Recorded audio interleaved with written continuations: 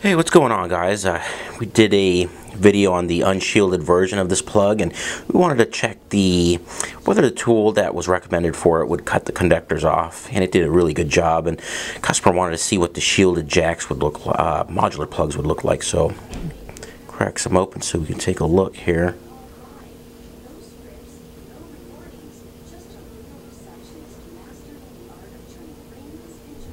I was curious on the front here whether kind of shield would but it looks like it's pretty much oh, there it is.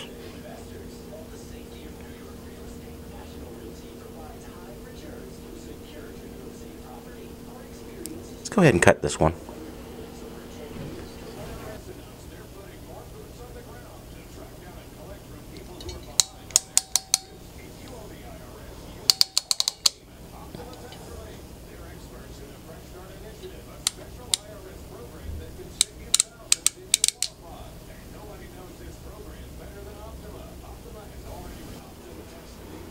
Okay, there it is.